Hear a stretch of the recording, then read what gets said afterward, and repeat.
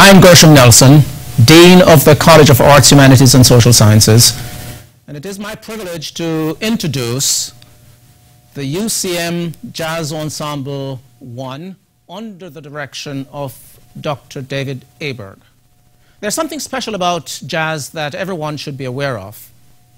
Although this genre of music originated in the African American community and is essentially a, form of music that embodies the African American culture, it is probably the most international genre of music which embraces every culture.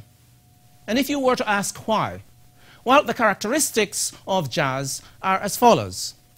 It is known for its syncopation. It is known for its polyrhythms and swing notes. But most importantly, it is known for its improvisation, which means that musicians, regardless of culture or language, have the opportunity to add to this glorious form of music. Enjoy the UCM Ensemble 1 under the illustrious arranger and composer, Dr. David Aaberg.